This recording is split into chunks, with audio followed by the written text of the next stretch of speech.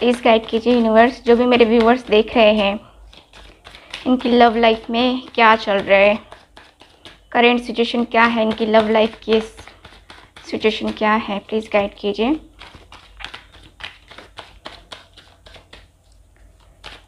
Okay please guide कीजिएगा universe. So so, जिनको भी मुझसे पर्सनल रीडिंग लेनी है व्हाट्सअप नंबर पे कांटेक्ट करके बुकिंग को कंफर्म करवा सकते हैं। ठीक है? ओके पेज ऑफ़ शॉर्ट्स का कार्ड है फ़र्स्ट कार्ड ठीक है। यहाँ पे जजमेंट का कार्ड है। ओके सो यहाँ पे ten of cups four of cups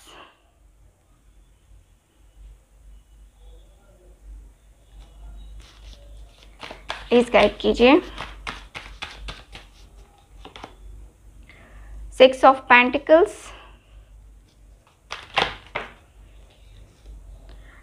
tower okay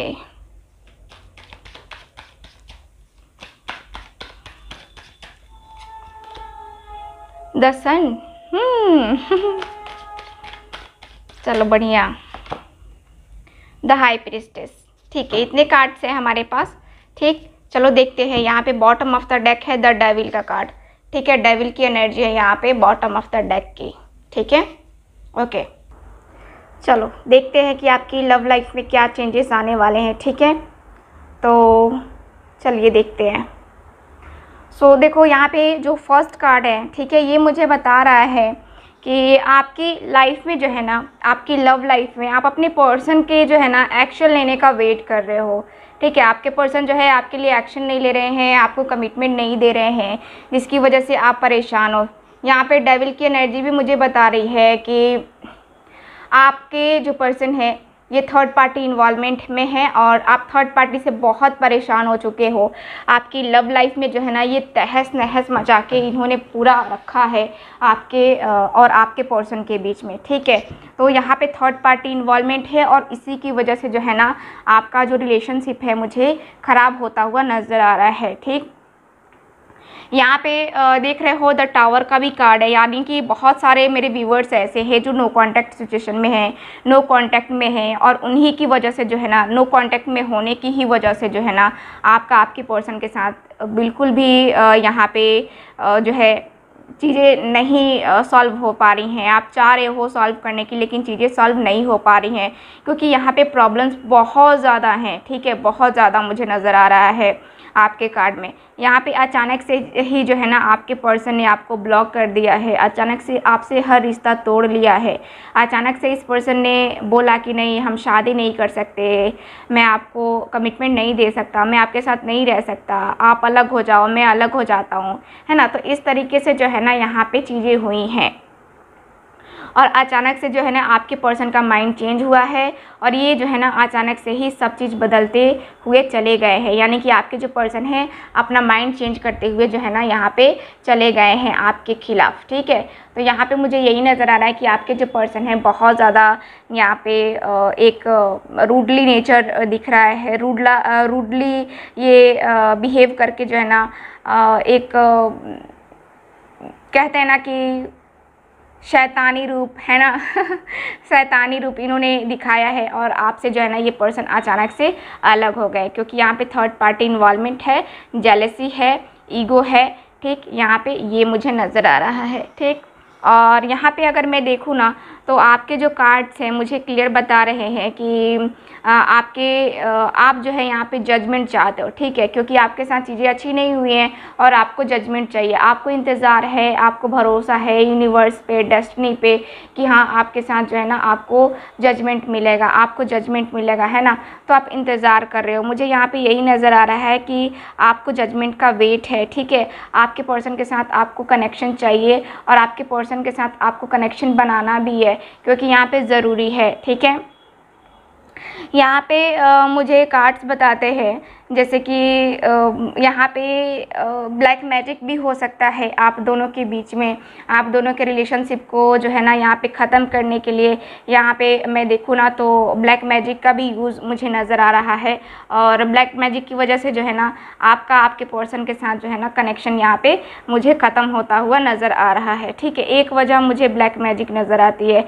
ठीक है, दूसरी वजह मुझे ये नज़र आती है कि ये पर्सन आपसे, आपको टाइम नहीं दे रहे हैं, ठीक? आपको बिल्कुल भी टाइम नहीं दे रहे, अपनी फैमिली को टाइम दे रहे हैं, अपनी फैमिली के साथ टाइम स्पेंड कर रहे हैं, उनके साथ ये पर्सन खुश है। लेकिन यहाँ पे क्या हो कि आपके साथ जो है ना ये टाइम स्पेंड नहीं कर रहे हैं, आपको टाइम नहीं दे रहे हैं, ठीक है? कुछ लोगों का मुझे ये नज़र आ रहा है।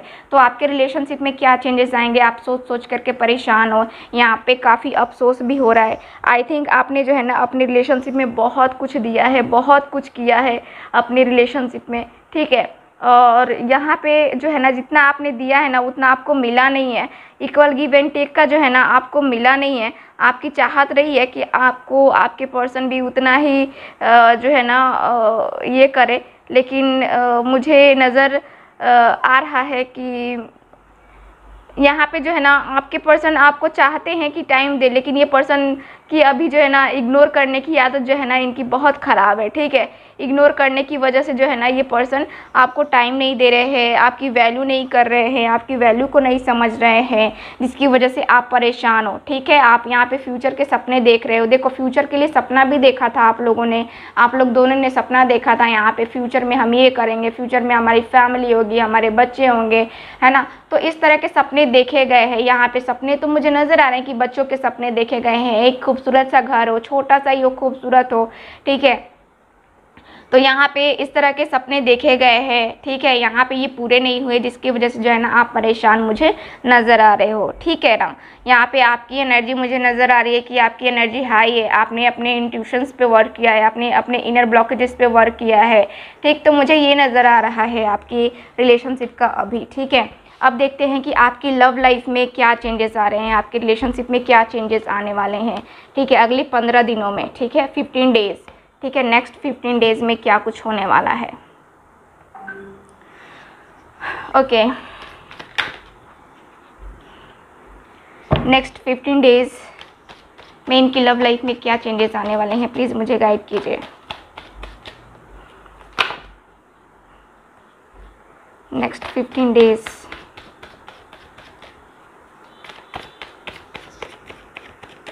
next 15 days. Oh king of cups. The tower. The high priestess. ठीक है, ये अगेन कार्ड्स आ गए मेरे पास। ठीक है? प्लीज़ गाइड कीजिए।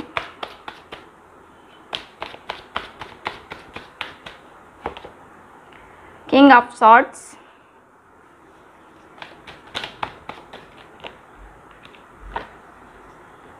यहाँ पे नाइन ऑफ़ कप्स वाओ बहुत ही अच्छा कार्ड आया है.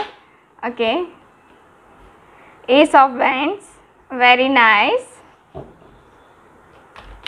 please guide कीजिए universe